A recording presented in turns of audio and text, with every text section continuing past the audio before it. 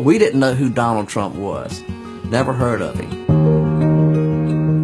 Both families were going through the same thing at the same time. I'd say the drought probably started in the late 70s, early 80s, and the debt just kept getting bigger and bigger. He'd say, oh, next year, hopefully I'll have a good year and good crops. Well, that didn't happen. And, and a few issues start to happen with the bank, and they was going to put us out of that house, put us off of that farm. And that land has been in our family since 1873.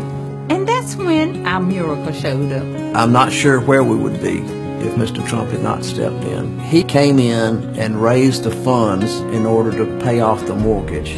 Nobody shows up to do big things like that, but he did that without a reason. I think by Mr. Trump helping save our farm, it shows the kind-hearted side of him, the generosity that most people don't get to see.